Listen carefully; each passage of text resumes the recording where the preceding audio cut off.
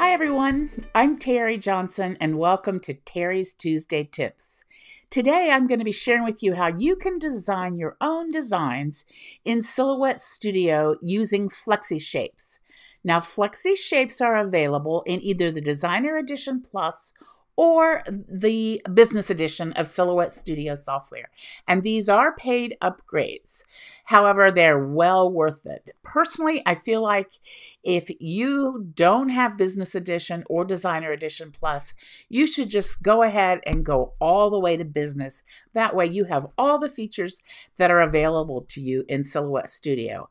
And I'll put a link below on where the really good prices are that you can get those upgrades if you're interested. But again, like I said, we're going to be designing in Silhouette Studio with Flexi Shapes. But we're also going to be using other tools and features in Silhouette Studio, like the weld feature. I'm going to show you the knife tool and how you can use that. We're going to be using the replicate window, the transform window, the modify window, and more. There are so many powerful tools in Silhouette Studio that you can begin creating your own designs right now. So this is the design that I'm going to show you. This is a little wine glass, um, and we're not going to be doing the text today. We're just going to be doing the wine glass.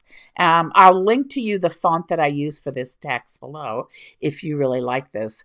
But um, this is a saying that my daddy used to say, that life is too short to drink bad wine, and I tend to agree. Agree. So let's get started in Silhouette Studio and I'll show you how you can do some designing.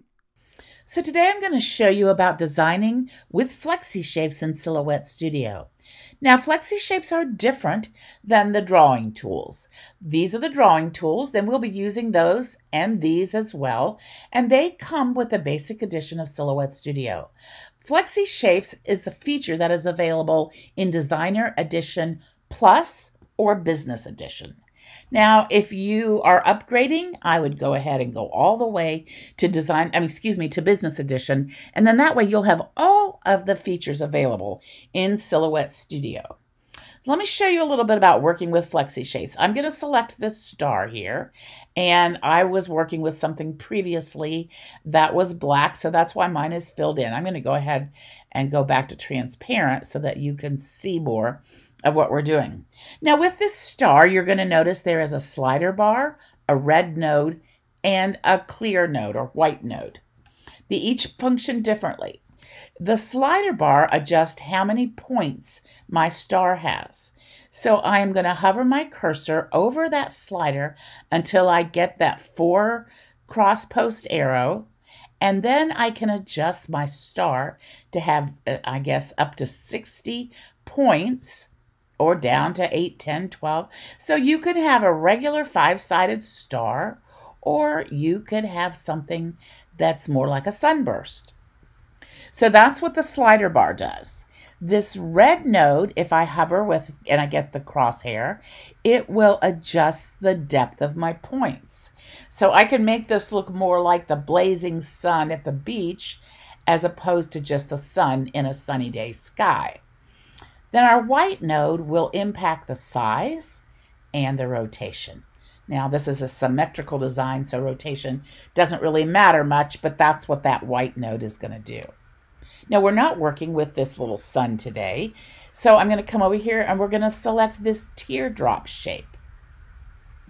I'm going to drag my teardrop, um, and again, I'm going to go back to transparent, and this is what we get. You'll notice there are only white nodes on this shape. And so I can adjust the size or I can adjust the rotation. Move it around like this. Okay, so we want to turn this into our wine glass. We're going to do that by coming over here and selecting the knife tool. Now, when I select the knife tool, a menu bar pops up here that gives me options. And this is what I want. I want to be cutting this as a solid. I want to treat this shape as a solid and not an outline. I want straight and not any of these other options. And then I want auto apply unchecked. Normally, auto apply is the default, and when you select your knife tool, it will automatically be selected. You want to deselect that so that you can decide when you want to apply the tool. You'll see it in just a minute. So I'm going to bring my knife tool here and I'm going to hold down the shift key.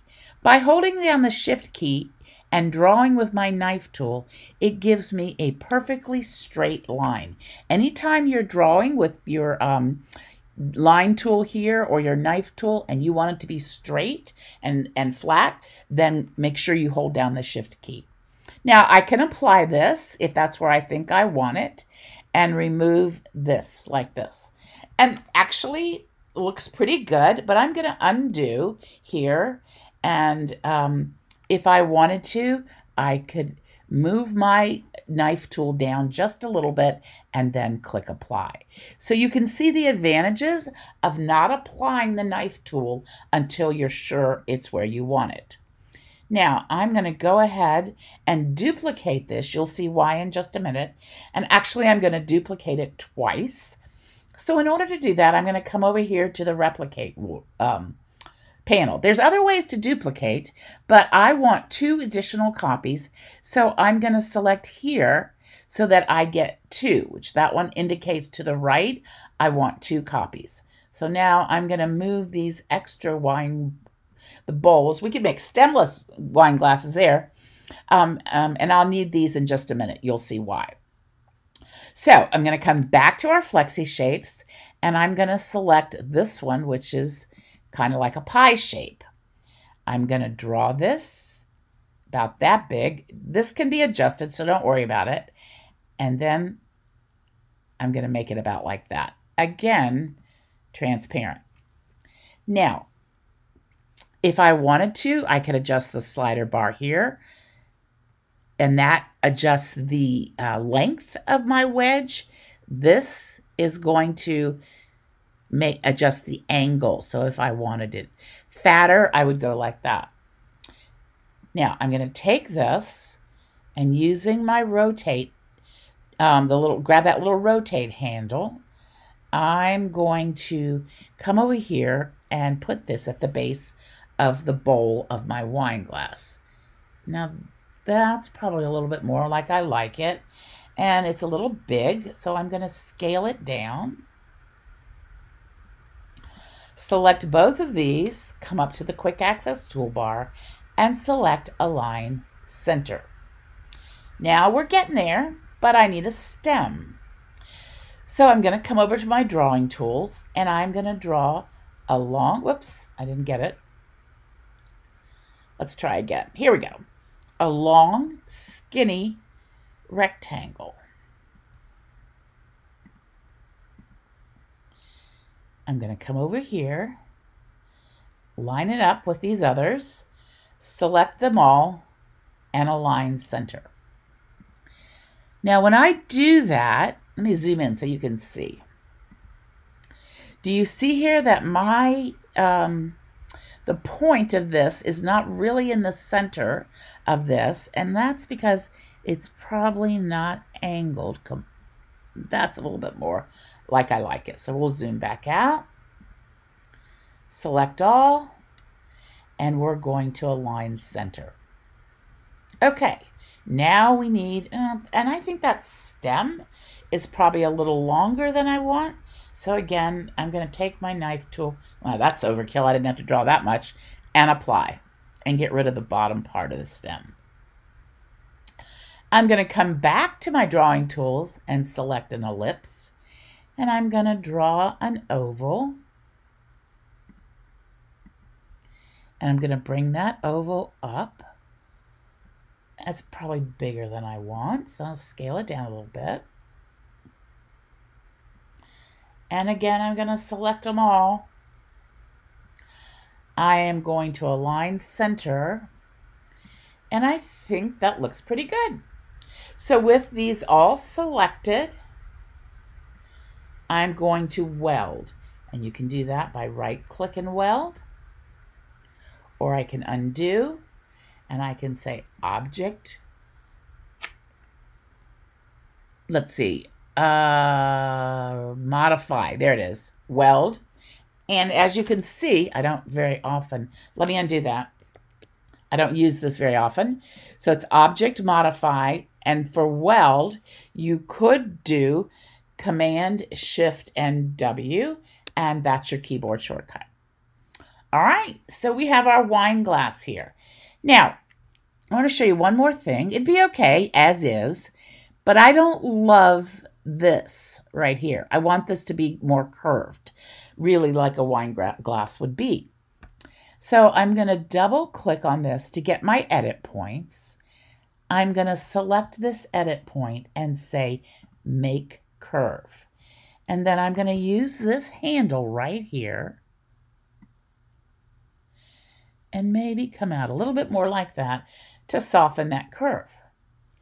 Now, the chances of me getting this side, I can try. But honestly, if I say make curve, the chances of me getting this side to match this side, see, it doesn't match, and I don't like it. So here's what we're going to do. Much simpler than playing around with that. I'm going to take my knife tool, again, draw it, holding down the shift key. Oh, I meant it to be longer, so let's drag it down so it encompasses our entire wine glass. Select both of them. And then I'm going to come, now our, our quick access toolbar is not available to us because the knife tool menu is up here. So remember I said there's more than one way to do something? So I'm going to come over here, click on the Modify panel, and with these both selected, I'm going to say Align Center. Now I'm going to select my knife tool. You can see that that knife line is centered right in the middle of the wine glass. So I'm going to um, zoom back out, select my knife tool, and click apply. So that's cut our wine glass in half, and we can get rid of this half. Now, we've only got a half a wine glass now. So let me close out these panels and I'm going to open the replicate panel. You have a lot of options. We just use the duplicate up here, but we can use the mirror and replicate option here. So this will mirror it and turn it to the left. So that gives us two halves of a wine glass that if you look right here, they're perfectly symmetrical. I'm going to take this half and using my keyboard arrows, I'm going to move it over one click so that it barely overlaps by a hair. Now I'm going to select both pieces, right click and weld, and now we have a complete wine glass. All right? Pretty easy, huh? Now this time, I am going to fill it with black, and I'll show you why in just a minute. Now remember we had our um, bowl of our wine glass here, and I'm going to fill that with another color, and we're going to make it just a little bit smaller. Come over here. Now it's not showing because it's gone behind our black, so I'm going to click on the black and say send backwards. So now my, my wine bowl is right there. I might click on these and align vertical center, which they are. And I might move this down just a smidge so that, and I might make it just a little bit bigger. You know, you can spend hours playing around with this, so get it to where you're happy with it. And again, down one more notch. Okay, that looks good. But that's not how I want. I mean, you could leave it like this and you'd have a full wine glass, but that's not what I want. So I'm going to I'm going to take both of these, come over again to my modify panel, and we're going to subtract. So now I have a very sad empty wine glass, and I want to fill it with a slosh of wine. So now you remember we made our um, wine globe here a little smaller, so I'm going to do that. I'm going to fill it with color just to make this a little easier for you. We'll have a dark red, purple wine there. So now we're going to go back to our knife tool, but this time we're going to use a different option. We're going to select the curve tool. And using that, I am going to draw a curved line, just put some points in it, draw it about where you think your wine slosh might go. And each time, just click and it will create a curved line. Double click at the end to stop drawing. Now, Again, come up. If it's what you want, click apply and boom. Get rid of the top of that wine glass and you've got a wine slosh. Now, I'm double clicking to do some edit points here and I'm going to get rid of a couple of points so it's not quite so jagged. I'm going to click here to add a point and I'm going to make that one a curve. And I think I'll double come in here and click on another point and make that one a curve. You can play around with this again just to edit that curve and to make it smooth so it looks like what you want it to. Now I'm going to make it a little bit smaller to fit in our wine glass and drag it over here. And um, again, I'm going to zoom back out, select both the glass and the wine, and I'm going to align center. Now that looks pretty good. So that's it you can see just how easy it is to use flexi shapes to create. Now, and along with the other tools in Silhouette Studio. And I want you to take a look at the flexi shapes and maybe look at them in a different way. And I wanted to just go over with you very quickly the tools that we use today to get here. Of course, we use the flexi shapes, we use the drawing tools, we use the line tools, we used the modify panel, we use point editing, we used the transform panel, and the replicate panel, and we used the scale and our quick access toolbar. We also use the knife tool.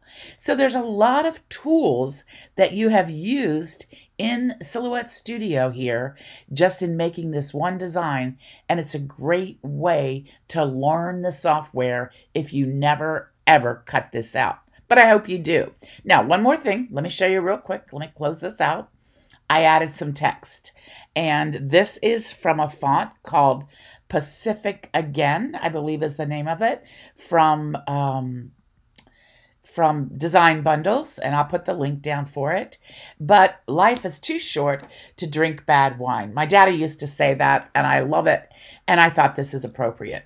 So I hope you enjoyed this design lesson and share with us some of the flexi shape designs that you create. And that's just how easy it is to create your own cut files in Silhouette Studio using the flexi shapes, drawing tools, line tools, and so many other features that are available in this powerful software. I love designing my own things. I get inspiration from all kinds of places and then I make it my own. So try it out. Use some of the tools that are available to you. And when you've created your own design, post it in the Facebook group so that we can see what you've done. Don't forget to subscribe to the YouTube channel if you like this video and set the notifications so that you'll be notified when the next one comes out. So until then, I hope you have a great week.